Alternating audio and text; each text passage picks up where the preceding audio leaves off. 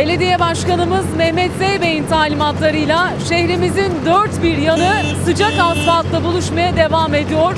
Bu kapsamda Adnan Menderes Bulvarı'nda da sıcak asfalt çalışmalarına start verildi. Ekiplerimiz burada hummalı bir şekilde sıcak asfalt döşeme işlemlerini gerçekleştiriyor.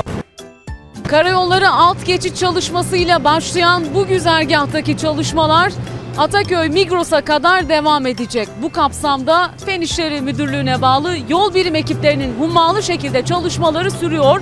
Sıcak asfalt çalışması ise çift taraflı gerçekleştiriliyor.